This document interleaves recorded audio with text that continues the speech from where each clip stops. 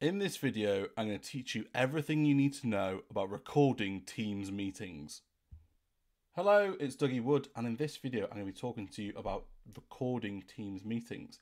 Um, now, there's multiple reasons why you might want to record a Teams meeting, and that could be that you want to follow up on a meeting afterwards. Maybe it's actually for somebody else. So, quite often, we see people recording Teams meetings because not everyone can participate in a meeting. Say, colleagues on holiday and they want to go back and watch afterwards. I found from my own personal experience, it's great to record as much as possible, especially when you're really busy and you've got a lot of different projects, because it might be that you discuss a project, but actually it's going to be a couple of weeks until you're properly getting started with it. So you can go back to that initial handover point, watch the recording, and get yourself back up to speed with what was happening. Also, it's important to start getting into the habit of recording meetings because we're moving into the era of Microsoft Copilot. And our Microsoft Copilot needs you to either record the meeting or at least enable the transcript uh, to be activated, which is essentially just recording what people are saying, not as audio, but just documenting it down as text. But we'll take a little look at that in a moment about the different options about recording things. Then we're also going to look at once you've actually completed your recording, where you can go and find that video and how you can share it with other people as well. So let's start off by actually looking at how do we start a recording. Now, in our Microsoft Teams meeting, you can see here um, I've got a few different options across the top, but to get started, I actually need to click on this more options here. Now, the very top option is record and transcribe. Now, there's two different options we've got here. We've got start recording and we've got start transcription. Now, again, just to explain, start recording will record everything. It will record um, my webcam uh, and, myself. It will record the audio and it will record the transcript, as in what people are actually saying, and it's sort of writing it down. Um, whereas Start Transcript won't record my webcam. It won't record um, the audio. It will only record what people are saying as a written document. Now, when I click on Start Recording, it will only start recording from the point that I click on this button. A common misconception is that people think that it will start the recording from the beginning of the meeting.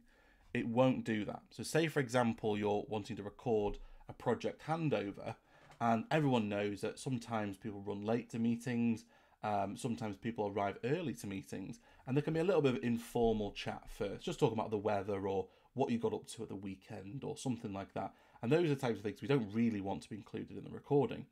So quite often, as a, again, as a cultural thing, is to get into the habit of only clicking that start record button once you know that you're going to get into the swing of talking about the actual project or what it is that you wanted to record the meeting about. Again, um, we'll talk about how we stop it in a second, but also it's worth stopping the recording when you think that kind of the actual meeting's done. Because again, it's a very common thing that at the end of a meeting, once it's all wrapped up, um, quite often um, you'll you'll do a final 60 seconds, two minutes of oh what you've got planned for the weekend or whatever it is that you're talking about. Um, and again, you might not necessarily want that to be included, so you can you can cut the kind of recording at that point. So I want to start the recording, so I'm going to click on Start Recording. Now, a little pop-up message is going to come up and say Starting Recording and Transcription. Then once the recording actually starts, it then says Started by you. Let everyone know that they're being recorded and transcribed. So it's worth, uh, again, for people who aren't maybe used to having Teams meetings recorded and things like that, actually just letting them know that they are being recorded. It's just a polite thing to do. Um, quite often, even before I start the recording, I quite often just make sure that I get everyone just to sort of say, uh, I'll often ask a question, just say, is everyone okay if I start the recording now? Um, and just hopefully get a few people say, yep, sure, that's fine blah, blah, blah, just so everybody, again, is comfortable that the recording is about to commence. We can tell that the recording started because across the top left hand corner we can see this little red light button which is appearing. Um, and it's a bit like us on a, a, radio studio where it's live and it's got the red kind of um, button there so everyone knows it's currently live and recording. We can also tell by hovering over it, it says recording started by Dougie Wood. Now it will always say who started that recording. So again, you can always go back and or see audit wise that you can see who started that recording. Um, and, and also the transcription is automatically started once you start recording a meeting as well. Now, this is where it gets a little bit confusing.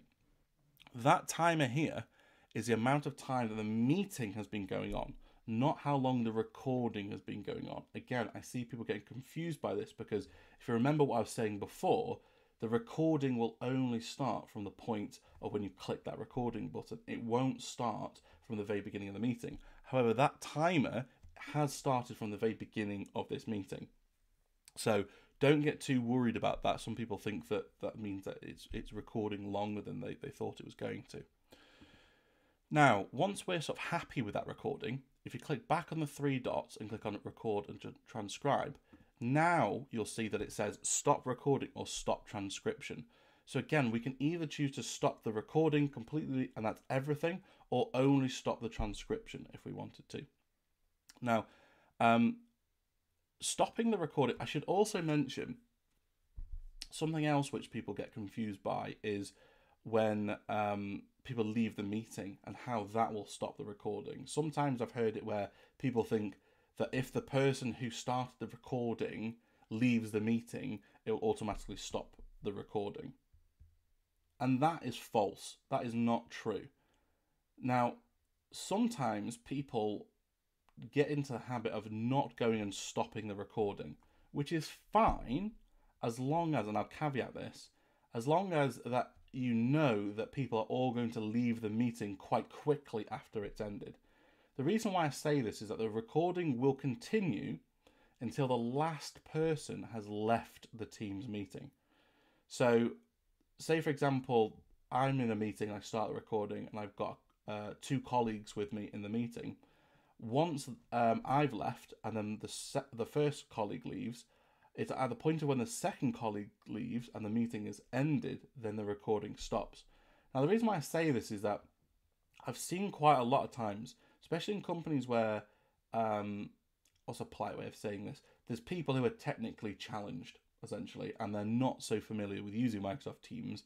And for some reason, after a meeting, they, they don't exit the meeting. They just leave the meeting running for an hour, two hours, things like that, until they next need to come and use Microsoft Teams to realize, oh, I'm still in that meeting. Um, and that means then you've then got a recording which is like two hours long. So it's going to be a huge file. It's going to take ages for it to render and finish. Um, and uh, again, that's not good habit. So if you've got people working in that kind of way, I would suggest you get into the habit of going and turning off the recording manually. If people are quite familiar with using Microsoft Teams, and they will quickly end a meeting, then you're fine um, just everyone leave the meeting and it'll stop the recording for you. But as I say, you can manually stop it. Clicking on record and transcribe, then clicking on um, stop recording, it will confirm you to say, Are you sure you want to stop recording the transcript? And I'm going to say, Yep, I want to stop it now. So once it's clicked stopped, you'll notice that it'll say, You stopped recording. If you change your mind, you can start them again anytime. Now, you can start that recording again, but remember that it's not, it won't have captured anything that has been said since it was stopped and started again.